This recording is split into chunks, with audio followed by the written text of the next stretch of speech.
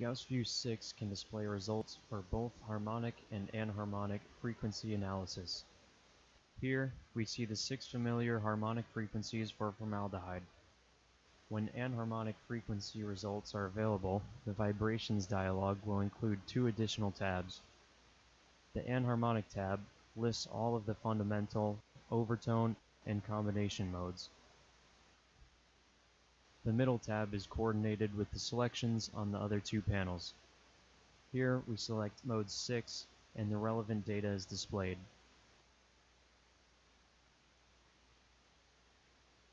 When we click the Spectra button, the normal IR spectrum is displayed.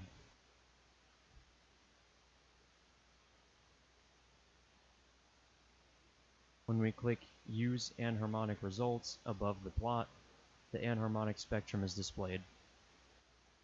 You can see both spectra on the single plot by selecting Mixture Spectra from the Plots menu.